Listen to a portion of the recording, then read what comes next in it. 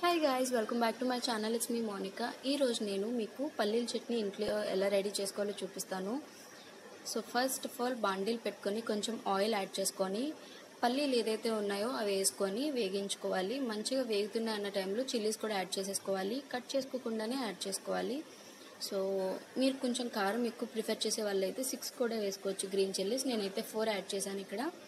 So ఇలా వేగిన తర్వాత మనం కట్టేసుకొని దాంట్లో కొంచెం చింతపండు అలానే సాల్ట్ యాడ్ చేసుకొని గ్రైండ్ చేసేసుకోవాలి. సో గ్రైండ్ చేసేసుకున్న తర్వాత దాంట్లో మనం తట్క యాడ్ చేసుకోవడమే.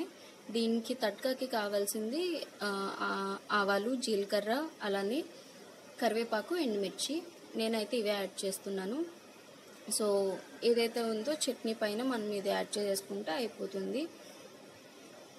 అంతే ఎంతో సింపుల్గా ఇంట్లోనే రెడీ చేసుకోవచ్చు.